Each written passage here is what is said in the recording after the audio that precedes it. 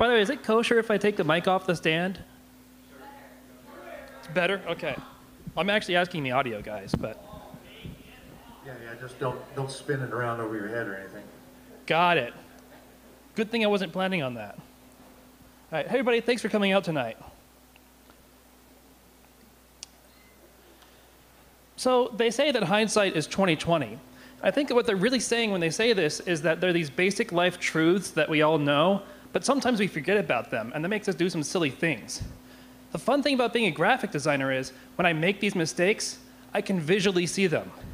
So a couple of years ago, I was working on a project where we had this drop-down menu that just did not look right to me, right? It looked like a yellow square with these blue links in it, and the blue links underlined when you hovered over them. And I thought, this is not a drop-down menu. Like we grew up with Windows and Macs. We know a drop-down is a gray box with these black links in it, and when you hover the mouse over them, you get like this blue highlighting cover, right? Like we all grew up with that. So I thought, I'll make all my menus look like this, and I immediately ran into a problem.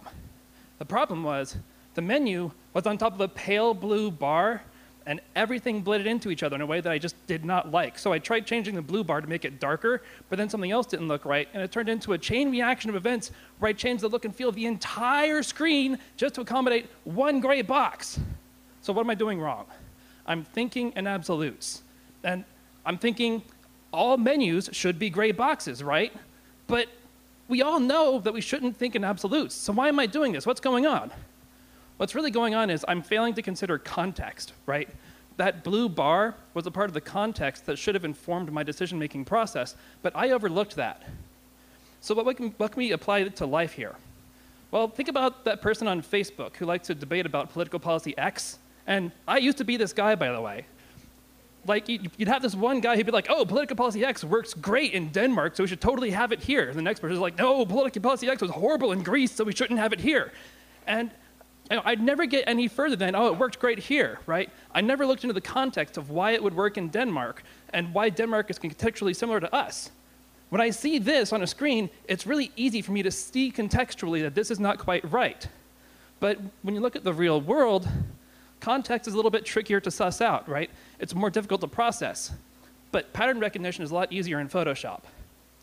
So, to transition to my second story, when I first got started training to be a magazine designer in a college newsroom, one of the first things that they taught me to do, and funny story, was how to alter photographs.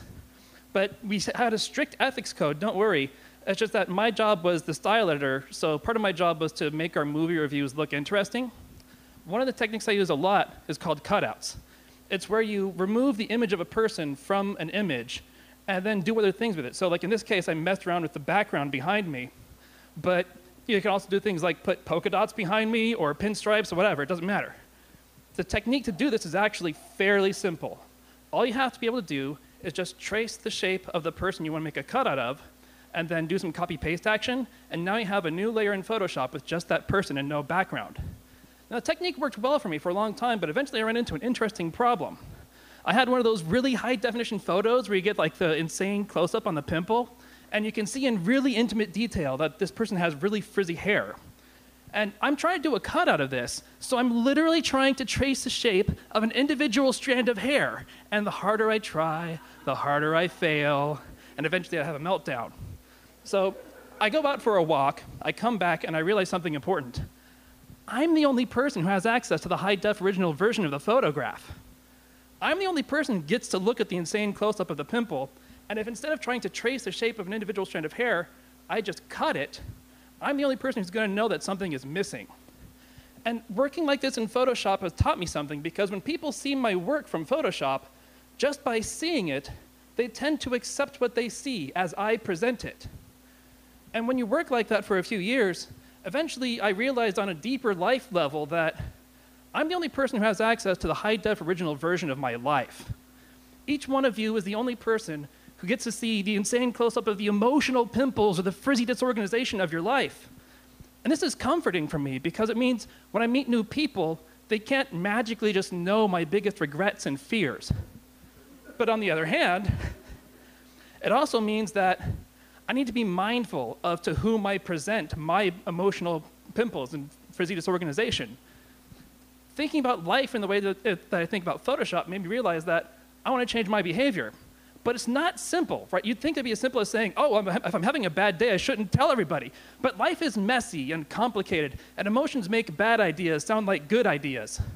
The truth of the matter is, hindsight may be 2020, but Photoshop has a 3200% zoom lens. And when you spend hours and hours and hours looking through this lens, it changes the way that you look at yourself and the world around you. Thank you for listening, everybody. Have a good night.